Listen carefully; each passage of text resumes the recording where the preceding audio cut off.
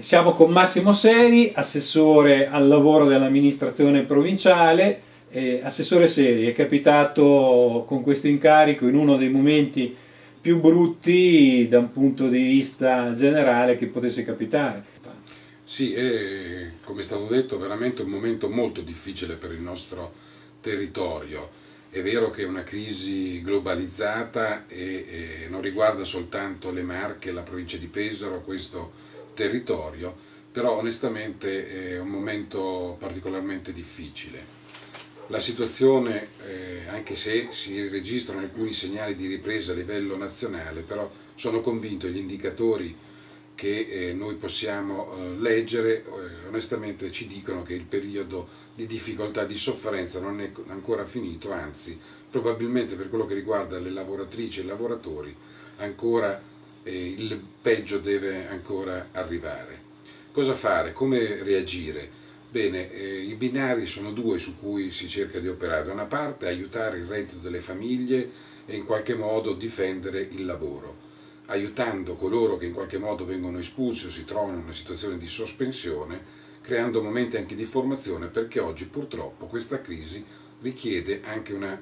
maggior formazione perché il lavoro, il mercato del lavoro sta facendo una forte selezione, per cui quando eh, le persone coinvolte cominciano ad avere anche un'età non più giovanissima, perché la, la, maggioranza di coloro che vengono espulsi sono coloro che vengono compresi fra l'età di 35 e 50 anni. Quindi questo è un momento anche della vita particolare, richiede una particolare formazione proprio per ridare nuove opportunità di eh, reinserimento. Per quello che riguarda il nostro territorio, anche il, eh, il comprensorio del piano del Bruscolo registra un momento di sofferenza particolare. Ci sono aziende che chiudono, aziende che si riorganizzano e anche verso queste la provincia sta facendo uno sforzo. Uscirà a brevissimo un bando che eh, vede una, risorse per 2 milioni di euro a favore delle piccole e medie imprese, perché l'altra cosa che va registrata ed è caratteristica dei nostri territori è che eh, le nostre attività produttive sono composte da piccole imprese, artigiani e queste hanno una difficoltà maggiore rispetto alle grandi aziende ad affrontare momenti di difficoltà come questi. Lei ha parlato di necessità di una formazione, presumo di una formazione diversa rispetto a quella che è stata fatta fino ad oggi, ha parlato di piccole imprese, quindi sostanzialmente ha sollevato anche un tema di una specificità nell'ambito di una crisi più generale della nostra crisi. Ecco, rispetto a questo tipo di problema, cioè come aiutare a uscire fuori dalla crisi le nostre piccole aziende, i nostri giovani che cercano occupazione, che cosa possono fare le istituzioni da questo punto di vista? Ma eh, un elemento è chiaro, questa crisi rivoluzionerà il mercato, rivoluzionerà la produzione, quindi la prima sfida da affrontare è l'innovazione. Quindi eh, per questo a maggior ragione dobbiamo avere un occhio di riguardo verso le piccole eh, aziende che hanno maggiori difficoltà perché sono strutturate, non hanno eh, strumenti adeguati ad affrontare tutto quello che riguarda il tema della ricerca e dell'innovazione. Proprio per questo come provincia stanzieremo, come dicevo poco fa, 2 milioni di euro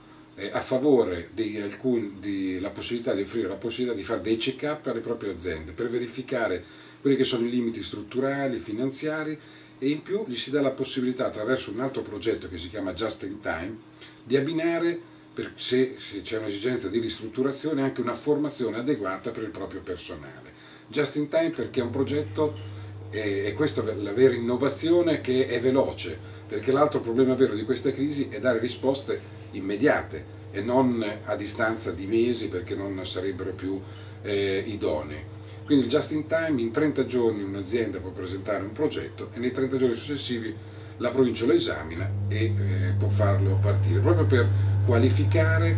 aggiornare il personale, perché la sfida è proprio questa, innovarsi, trovare anche formule nuove e dico anche bisogna diventare creativi in momenti eh, come, come questi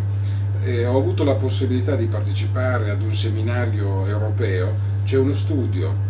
eh, che l'Unione Europea ha svolto che ci dimostra che da qui al 2015 ci saranno 15 milioni in Europa di nuovi posti di lavoro, a fronte dei 3 o 5 milioni che si stanno perdendo. Ma c'è una forbice. la forbice è sempre più larga fra il lavoro altamente qualificato e il lavoro non qualificato, cui c'è un'esigenza sempre maggiore di formazione, perché la selezione sarà proprio eh, su quello. Allora, Assessore Seri, lei ha parlato sostanzialmente di un coinvolgimento anche del mondo delle imprese, di un patto che comunque la provincia eh, ha portato avanti. Si parla tanto in questi giorni del tema delle infrastrutture, autostrada, secondo casello, eccetera, eccetera. Che ruolo possono giocare le infrastrutture nel rilancio, nella ripresa economica del nostro tessuto produttivo? Sicuramente le infrastrutture svolgono un ruolo fondamentale in un momento come questo, anche se non è l'unico elemento determinante, sono un insieme di elementi che compongono e determinano un determinato percorso. Proprio in questi giorni si è parlato, si sta parlando del secondo casello, sì o no, nella città di Pesaro. Ecco, mi sento di dire, anche forse in modo, anche in tono un po' critico, che ho un pizzico di delusione per quello che è stato il processo, il percorso che la classe dirigente, sia politica ma anche della società, ha manifestato e dimostrato in questa fase.